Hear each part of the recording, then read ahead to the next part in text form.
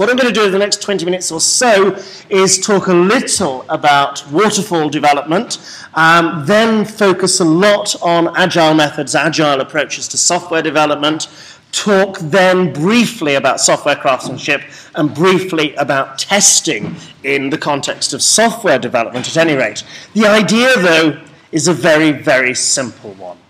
Take some of the ideas from the world of software development, from the world of computer science, and apply them to your job of teaching children. And we'll look at some of the parallels between one world and another. Okay, so let's start with waterfall development. Hands up in the room who's still teach, who's teaching A-level or A2 ICT computing, that sort of thing. Waterfall development still on your, on your specifications? Oh, good, so you know all about this. We won't need to spend very long on that. So what you have then is somebody, generally somebody very well paid, wearing a very nice suit, comes up with a set of requirements of what the new software product's supposed to do. Then other people, still typically wearing suits, meet together in rooms and design a way of putting those those requirements into practice, other people, not nearly so well paid, very rarely wearing suits, have the job of implementing that design. We call those in, in that line of work programmers and then we need to test that the thing works. Testing is really, really important. And then there's usually a sort of ticking things over, you know, and making sure that the seat carries on working and carries on being fit for purpose. That's the sort of maintenance side of that. And as you all know, that works incredibly well for large-scale public sector software projects such as the NHS. No, no. so the parallel then is to take that and apply it to our world. And you get, again, large public sector projects, such as coming up with a curriculum for computing. And you have somebody who has a very nice suit and generally sort of fairly geeky spectacles these days saying, we should have computing on the national curriculum. Other people meet in sort of rooms at the Royal Academy of Engineering or wherever and come up with a design for implementing that requirement. Other people, generally not often wearing suits, generally not so well paid, have the job of implementing that design. In our line of work, we call those teachers. Um, We, do, we do the verification thing very, very well, don't we? We place a lot of emphasis on the testing thing, the testing side of that, of ensuring that it does work, it does satisfy the requirements which we started with. And once in a while, we issue service pack. Those of you who remember the QCA schemes of work, is that not like sort of scheme of work 2.0 or something, or the the the the, beat, no, the, the service pack for that? So there, I think there are parallels there, and of course that works, as we know, very well for public sector software projects, and so must must also be the best approach for public sector projects of other sorts like computing curriculum. Of course it is. And then you get people like the former schools minister saying, well, you know, once it's done, it's done.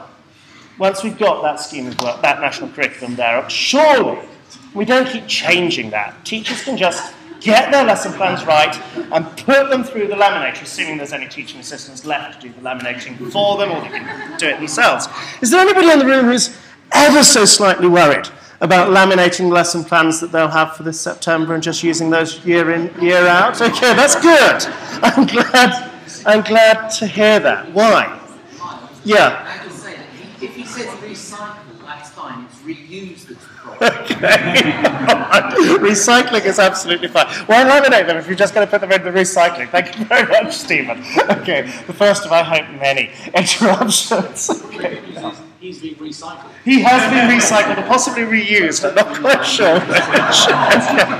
right. Anyhow, so why do we have problems with that? Firstly, that we're working in a rapidly changing domain. And I know there are arguments that computer science doesn't change nearly as much as IT or digital literacy does, but nevertheless, it's a subject which is continually evolving. And we feel quite close to that cutting edge boundary, even in the school sector.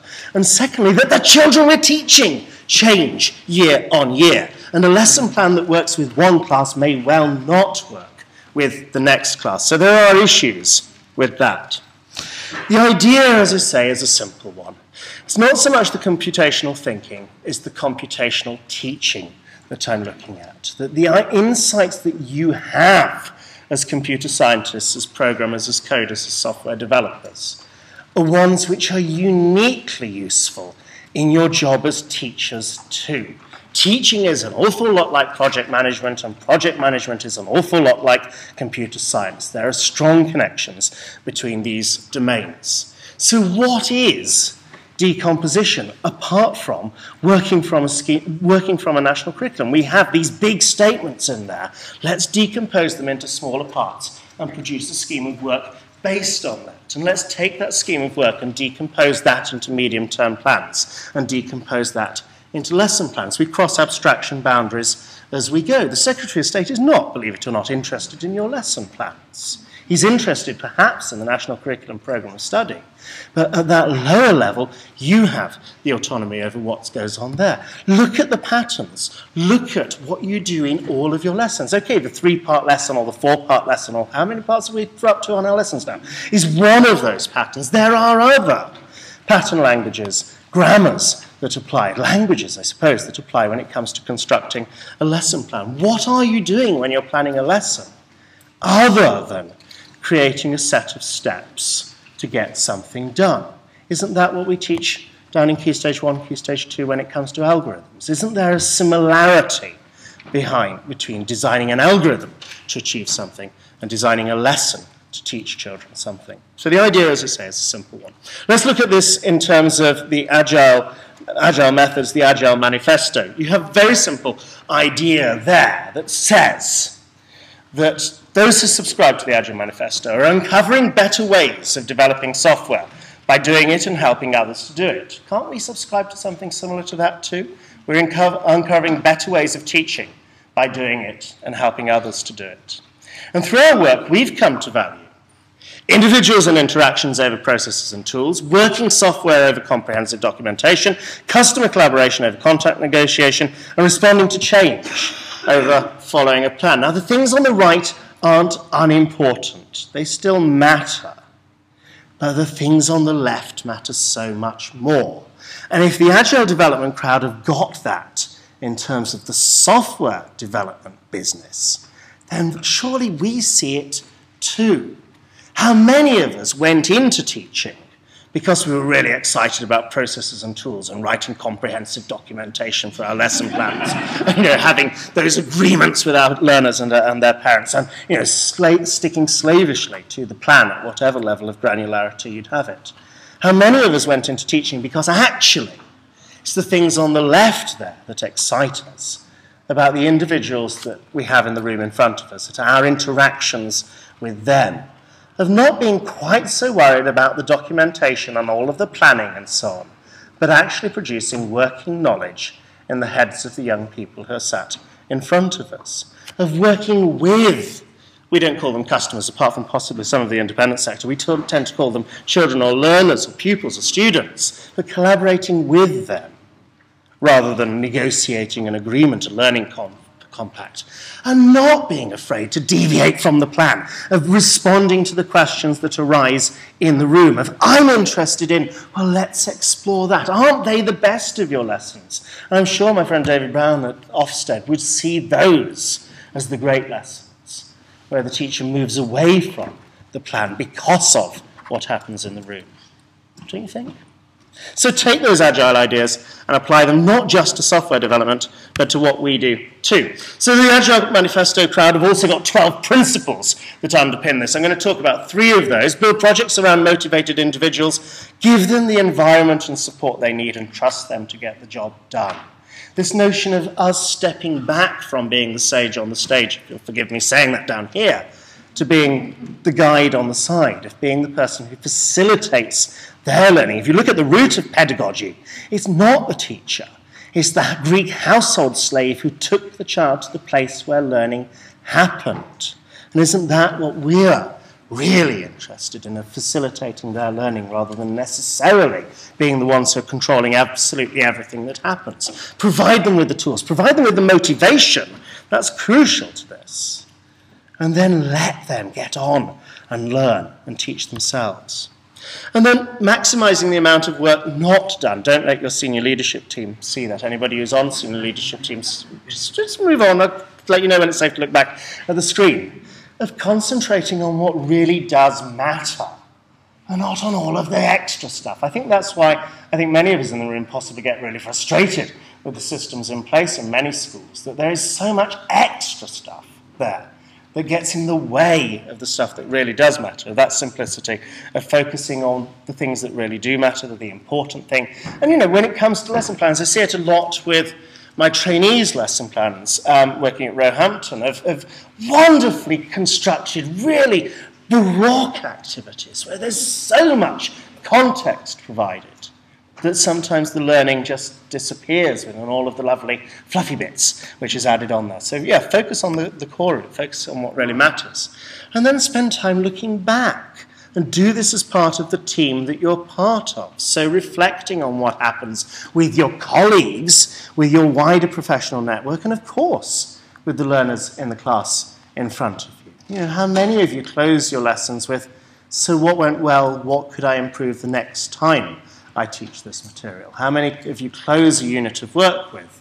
Okay, what were the good bits? What are the bits that we need to move on with? What are the bits that I need, we need to improve? And thinking about the working practices in your classroom. The other agile principles I maintain also apply in our domain just as much as their domain. Do have a look at the website. And then thinking particularly to the challenges we face in implementing a new program of study of introducing computing where we've only had ICT in the past. Let's just focus, at least for the first year, on getting the minimum viable project, product, the thing that works, the thing that is at least good for the purpose that it, we have for it. And then let's see ways of improving that in an iterative cycle of saying, okay, we've got something that works, let's now move on from that, let's now take that a stage further. Okay, other agile ideas. So, so, so there's more sort of principles. Now looking at some of the practices, you have this notion of the agile sprint. And I think the key idea to that in our domain is this notion of the time box, the time frame in which everything has to happen. Now, we have lots of time boxes that we play with, don't we? We have the two-year course leading up to GCSE or leading up to A-level. We also have the, the unit of work, the half-term plan. We also, though, have the lesson and thinking of that as the time box, that in that time box we've got to get everything done. I'm talking, or in, you know, I'm aware of teachers in school who are taking some of these agile, ideas and applying them in their classroom. They're seeing each lesson as that time box, and at the end of the lesson, the children have got to produce working code. It's fine if your focus is on coding, of course, but having something to show for what you've learnt there. The product backlog idea. Here's your specification. Here's the list of things that we have got to cover over the course of the term, over the course of the unit of work. Time box I've spoken about. During the period of the sprint where we're working on delivering whatever functionality, whatever meeting, whatever requirements we have there, you start with the planning meeting. Isn't that like the introduction in your four-part lesson? We have an identified task from that product backlog. And then at the end of that time box, we have two reviews one where we think about the processes, and another where we think about the task of what we've achieved there. And then we have this notion of the scrum meeting. This, the scrum, of course, is the way of getting the ball back into play, which is a standing up meeting, 15 minutes if that. And you have these three questions which you answer if you're adopting this, this methodology. What have you done since the last scrum? What are you going to do between now and the next scrum? And what's getting in the way of doing that? Is that not a good way to less, run a lesson plenary, particularly when you're getting on with project work. What have you done? What are you going to do next? And what's stopping you from doing that? And isn't that a good way of, use, of running school meetings? You know, school staff meeting, everybody stand up, address these three questions. What have you done since we last met? What are you going to do between when, when we next meet? And what are the problems that you're encountering? And then you've got this pair programming idea from extreme programming and, you know, down in the primary phase, where most of my teaching career has been spent, we've made a virtue of what is has often been a necessity. We don't have enough tutors to go around, so we double the children up. That's a really good way of getting really good code written. But you set up the rules there. So one person who's part of the pair takes on the driving seat position, the other takes the navigator role. And that works particularly well, as we know, for coding but it also applies, surely, for things like lesson planning, for things like creating a scheme of work. Who in the room has got a partner who's got a colleague with whom they can sit down and write these lesson plans and these medium term plans? This is not a rhetorical question. okay, that's not enough of you. CAS is a great place to find these folk, yeah? If you've not got somebody in your school, then join up with the school that's near you. Was wonderful last session hearing both Mark and Matthew talking about how they've shared ideas between one another and how their planning has improved through that process of having somebody to work with on these tasks.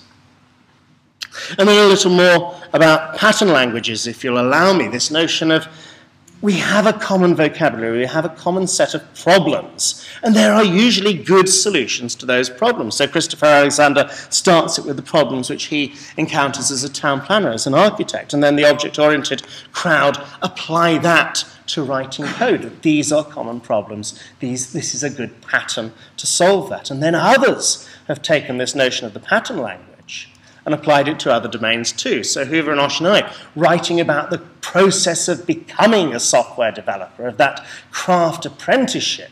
And there's a super book called Apprenticeship Patterns. The text there is all online for free. And then I think there are strong parallels between what they suggest for getting a job in the software industry and what applies for somebody who's entering the teaching profession, particularly today, where it's seen very much in terms of craft skill. And Diana Laurillard writing a book that I would very much like to have written myself about thinking about the patterns that apply to teaching and this pedagogical pattern language. So sharing that is important. You know, these patterns work because you're able to share this sort of thing with one another. And so you have, in our domain, I suppose, this notion of the open educational resources, but many of those are very rarely do people take those open education resources and change them. I wonder if that's because we've not got the right tool for doing that. And something like GitHub surely is the place where we could be putting our lesson plans, our resources. So not only can you download the thing and use it yourself, but you can fork the project and change it and make something better from that. And it's lovely to see functionality in the CAS community site, which, which goes towards that end with sort of wiki-like tools. And if we had audio working, I show you Peps Mccrea talking about a project he's working on called Open Plan, which is exactly that. It's a GitHub for lesson planning. Wouldn't it be great to use that for some of the work that we're going to be working on as we move towards computing in school? Okay, so briefly now, growing out of this agile development crowd, you have this software craftsmanship ideas, which starts with the Agile Manifesto, but goes further and say, okay, working software is fine, but well-crafted software is better still. Being responsive to the change is good, but actually it's not just about responding to change, about going off on a tangent because a learner puts their hand up and says, oh, this is interesting because we have an obligation to do more than that about steadily adding value to our learners, steadily increasing their fund of knowledge, skills, understanding. And yes, do please get excited about the individuals in your classroom and your interactions with them. But don't forget that you're part of a community of professionals too, that it is more than just your classroom that your responsibility is to. So yes, collaborate with your customers, your children, your pupils, but also think about the partnerships beyond your own school and Richard Sennett writing about craftsmanship in general. And you can see how this applies so well to computing, to programming, of course. It's by fixing things that we often get to understand how they work. Isn't that right when it comes to, to learning how to program computers, to learning computer science? But isn't it also true in our domain? Think of how you've developed as a teacher and how so much of that has been because of the problems in the classes that you've been working with, not the successes necessarily. And Diana Laurillard's same book talks about this in terms of teaching as what she calls a design science, which I think is a more positive term perhaps than craft necessarily, that we as teachers should be continually improving our practice, but having a principled set of ways of designing, testing improvements in that practice and building on others' work. Again, coming back to that GitHub idea, sharing our experience with one another and representing their, their, their practice the outcomes they achieve and how they relate to the elements of their design, the pedagogical pattern language, which she's very excited about. So almost finally, moving on to the whole testing thing. Whose school hall looks a bit like that at the moment? Okay, must, must be more than a few of you. Um, you have there this notion of test-driven development. Is this the same as teaching to the test when we move it into our line of work? I hope not. I think what we have there is this notion of there's no point teaching them things that they already know. So test-driven development says you create the unit test that fails, that doesn't succeed. And then you develop a bit of code until the test passes. I think if you take that idea and apply it to our line of work, then we have the children don't understand this at the moment. I teach this, and then they do. I think our friends at Ofsted would see that as evidence of progression during the lesson, which is something that they get very, very excited about. And then, of course, you've got the chance to refactor the code, to remove the duplication, to synthesize the ideas, to simplify them, to integrate that into that network of connections which constitutes their understanding. Um, more on testing. There's this, this lovely bit of work from Lisa Crispin talking about agile testing quadrants here. And she says you think about this in two dimensions. You think about testing in terms of the technology and also the business process for software. And you think about it in terms of supporting the team and, sorry, waving my hands the other way, and critiquing the product. And what does that mean in our line of work? Well, down the bottom there, you've got the subject knowledge, the content of the curriculum. Have they learnt these things? Up at the top there, I think, can you apply these things? Not can you, do you know this, but can you use that to make something better, to make something interesting. And then the other direction, you have that notion of the, the, the formative assessment for the supporting the team side of things, and then the summative assessment for have you learnt what you set out to learn in the end. And how do you measure this? Well, over on Stack Overflow, which has been mentioned at least twice already today, you have this sort of badge system going on, not just for what people answer, not just for when people contribute, to that body of knowledge, but for the questions that are asked too. And there is interesting work going on in education in terms of using a badge system to, to form, give some sort of credit for particular knowledge, competences, literacies as children acquire those. And I think there are interesting parallels there. And finally, some space to learn in. One of these pictures is a primary school can I say ICT room or do I say computer lab these days? One of these is a primary school computer lab. The other is an office space at a global tech multinational. Can you guess which is which?